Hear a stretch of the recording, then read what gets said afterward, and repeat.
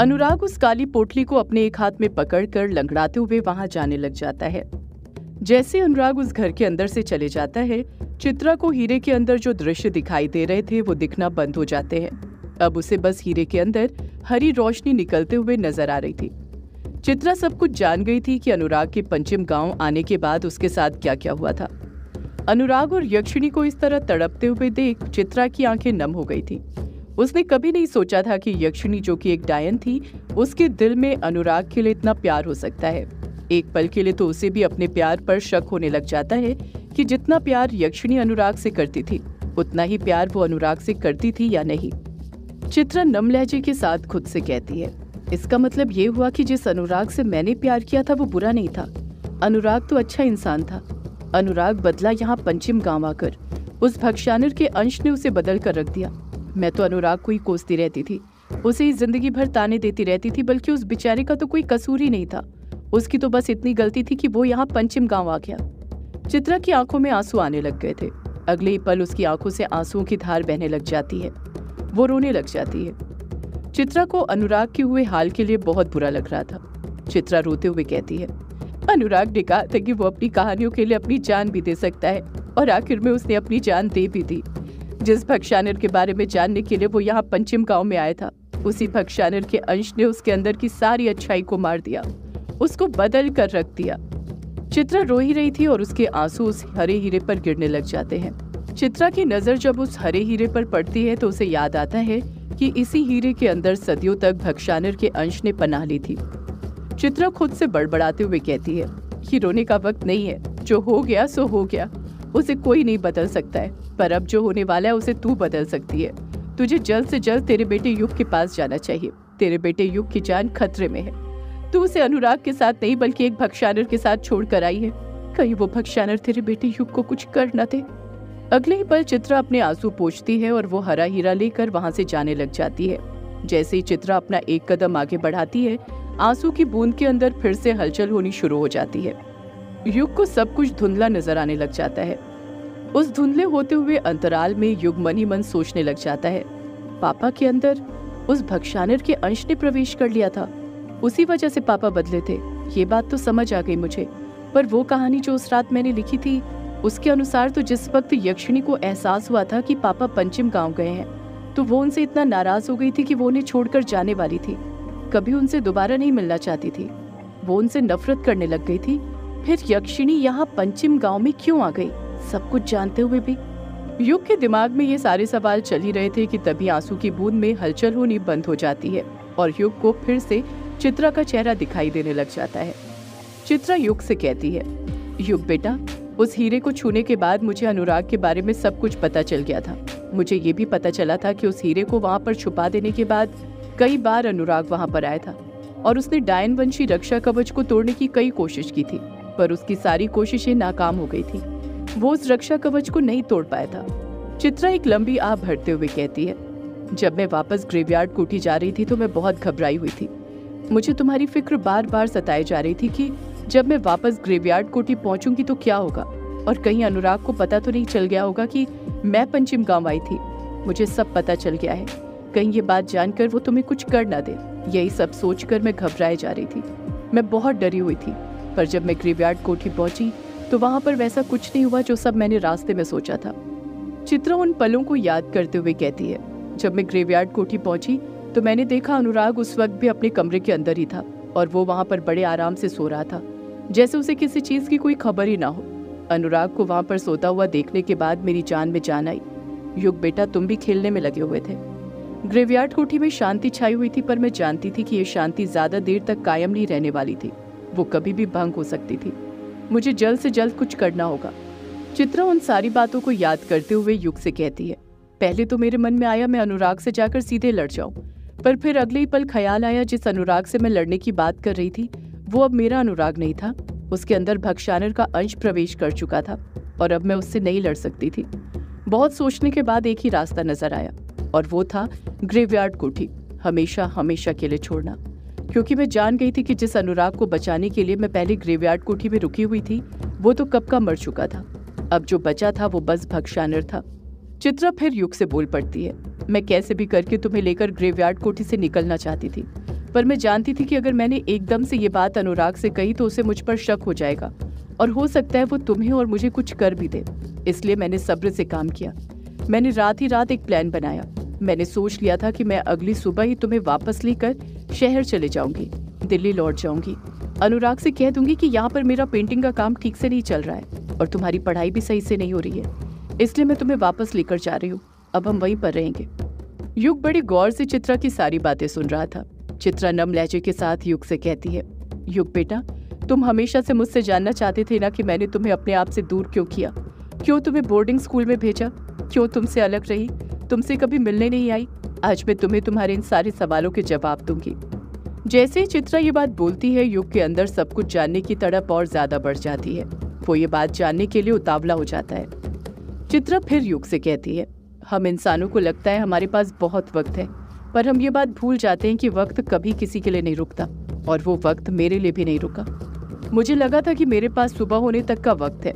सुबह होते ही मैं तुम्हें लेकर ग्रेवयार्ड कोठी से चले जाऊँगी, पर मुझे क्या पता था? मेरे पास सुबह होने तक का भी वक्त नहीं है। अनुराग उसी रात मुझ पर हमला कर देगा।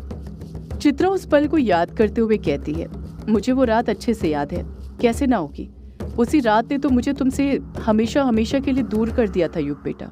उस वक्त रात के दो बज रहे थे और मैं तुम्हारा और मेरा सारा सामान पैक कर चुकी थी। बस कुछ मेरी पेंटिंग्स और थी जिसे पैक करने के लिए मैं अपने पेंटिंग रूम के अंदर गई थी। मैं अपनी पेंटिंग्स पैक ही कर रही थी कि तभी मुझे यक्षिणी की आवाज़ सुनाई देने लग गई। वो यक्षिणी तुमसे कह रही थी, युग बेटा, बाहर आओ, मैं आपका इंतज़ार कर रही हूँ। ये आवाज़ सुनकर तुम उसके पास जाने लग गए थे। पहले मैं भी यक्षिणी की आवाज़ सुनकर हैरान रह गई थी, पर फिर बाद में मुझे ख्याल आया कि यक्षिणी को तो अनुराग ने कैद कर दिया था। इस आवाज़ के पीछे जो शख्स था, वो भी अनुराग ही था। इतना ही नहीं, इससे पहले जो मुझे यक्षिणी की आवाज़ आई थी, वो भी अनुराग ने ही अपनी शक्तियों से निकाली थी। मैं समझ गई थी कि तुम्हारी जान खतरे में थी, इसलिए मैं तुरंत उस कमरे से बाहर निकल गई। तुम्हें ढूँढने के लिए और जब मैं हॉल में पहुँची तो देखा हॉल में चारों तरफ़ धुआँ फैला है और वहीं से तुम्हारी और यक्षिणी की आवाज़ सुनाई दे रही है। उस धुएँ को देखकर मैं समझ गई थी कि काला साया वहीं पर मौजूद है और बातों ही बातों में उसने मुझे अपना मकसद बता दिया था कि वो आखिर ये सब क्यों कर रहा था। पहले तो मुझे लगा कि वो मुझे तुमसे दूर करना चाहता है, तभी तुम्हारे दिल में मेरे लिए नफरत भर रहा था। तुम्हें मेरे खिलाफ भड़का रहा था, पर बाद में पता चला, ये सब तो उसकी साजिश थी। उसका असली मकसद तो मेरा असली रूप देखना था। जब हॉल में फैला हुआ धुआँ छटा तो वहाँ पर तुम मौजूद ही नहीं थे। बस काला साया था। वो मुझे छलावा दे रहा था तुम्हारी आवाज़ से। वो काला साया मुझे मेरे डायन रूप में देखना चाहता था। वो जानता था कि मैं एक डायन हूँ। इसलिए बार बार मुझे अपने असली रूप में आने के लिए कह रहा था। पर मैं भी जानती थी कि वो यक्षिणी नहीं, अनुराग था। इसलिए मैं भी उससे उसके असली रूप में आने के लिए बोले जा रही थी। जैसे युग चित्रा के मुँह से इस किस्से का ज़िक्र सुनता है, उसे वो पूरा किस्सा याद आने लग जाता है। इस किस्से को वो उस कहानी में पढ़ चुका था। बस फ़र्क सिर्फ़ इतना था कि उस किस्से के अनुसार चित्रा उस रात पेंटिंग रूम के अंदर पेंटिंग बना रही थी। पर असल में चित्रा उस रात पेंटिंग नहीं बना रही थी, बल्कि पेंटिंग को पैक कर रही थी। युग इस बारे में सोच ही रहा था कि आँसू की बूंद के अंदर फिर से हलचल होनी शुरू हो जाती है। कुछ देर बाद जब चीज़ें स्पष्ट नज़र आती हैं तो युग देखता है कि चित्रा और काला साया दोनों हॉल के एकदम बीचों बीच खड़े हुए थे। चित्रा के सिर पर चोट लगी हुई थी, जिससे अभी भी खून बहे जा रहा था। हाथ पैर पर भी कई सारे खरोच के निशान थे। वो अभी भी दर्द से कराही जा रही थी। उस काले साय ने अपने दोनों हाथों से चित्रा का गला पकड़ कर रखा हुआ था, जिसे वो छुड़ाने की कोशिश कर रही थी, पर छुड़ा नहीं पा रही थी। चित्रा अभी भी काले साय के सामने नाटक करते हुए उसे यक्षिणी समझकर ही बातें कर रही थी। उस साय ने लगभग चित्रा के गले को पूरी तरह दबोच लिया था। उसका गला लाल होने लग गया था। चित्रा दर्द से कराते हुए कहती है, मारना है तो मार दे, पर पहले सामने आ। मुझे तुझे देखना है। सामने आ मेरे अपने असली रूप में। वो काला साया यक्षिणी की आवाज़ में कहता है, पहले तू तो आजा मेरे सामने चित्रा, फिर मैं आती हूँ। चित्रा कुछ नहीं कहती है। अपना गला छुड़ाने की कोशिश करती रहती है। यक्षिणी की आवाज़ सुनाई देती है। लगता है तू ऐसे सामने नहीं आने वाली है। मुझे अच्छे से पता है तू कैसे मेरे सामने आएगी। इतना कहकर वो काला साया चित्रा के गले से अपने एक हाथ की पकड़ को छोड़ देता है और उसे चित्रा के जूड़े की तरफ़ ले जाने लगता है, जो बंधा हुआ था। पहले वो काला साया अपने एक हाथ से चित्रा के जूड़े को खोलने की कोशिश करता है, पर जब वो उसमें कामयाब नहीं हो पाता है तो वो काला साया चित्रा के गले से अपना दूसरा हाथ भी हटाता है और फिर अपने दोनों हाथों से चित्रा के जोड़े को खोलने की कोशिश करने लग जाता है। पर चित्रा भी उसके दोनों हाथ पकड़ लेती है और उसके हाथों को अपने जूड़े से दूर करने लग जाती है। जब बहुत कोशिश करने के बाद भी वो काला साया चित्रा का जूड़ा नहीं खोल पाता है तो काले साय को अपने ऊपर गुस्सा आने लग जाता है और वो चित्रा को गुस्से से धक्का दे देता है। चित्रा दूर जाकर दीवार से टकरा जाती है और धड़ाम से नीचे गिर जाती है। चित्रा दर्द से कराहते हुए चीखती है। आ चित्रा के नीचे गिरते ही उसका जोड़ा जो बंधा हुआ था, वो खुल जाता है। चित्रा ने चोटी नहीं बांधी थी। उसके बाल खुले हुए थे, जिस कारण जैसे ही उसके बाल खुलते हैं, उसके बाल उसके चेहरे के ऊपर आ जाते हैं, जिस वजह से उसका चेहरा दिखाई नहीं देता है। जैसे चित्रा के बाल खुलते हैं, उसके जूड़े में से हरा हीरा भी निकलता है। चित्रा ने हरा हीरा अपने जूड़े के अंदर ही छुपा कर रखा हुआ था। वो हरा हीरा ज़मीन पर गिरने वाला था कि उसी वक्त एक तेज हवा का झोंका आता है, जिस कारण चित्रा के सारे बाल उसकी पीठ के पीछे चले जाते हैं।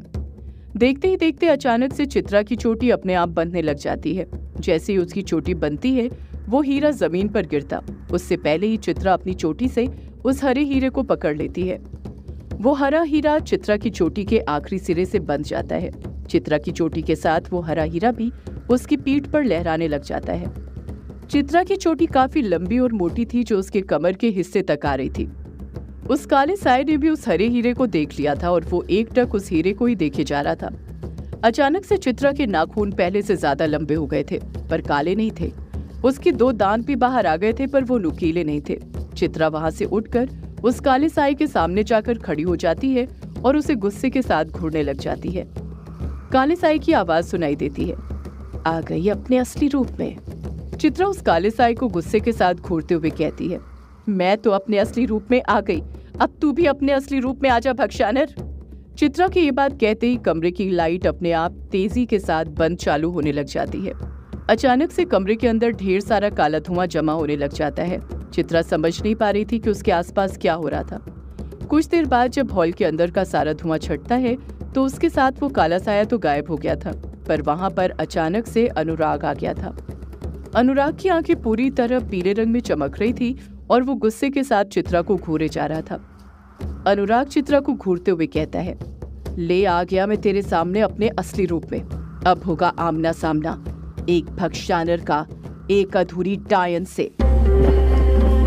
सदियों से है पुरानी, ये है यक्षिणी की कहानी।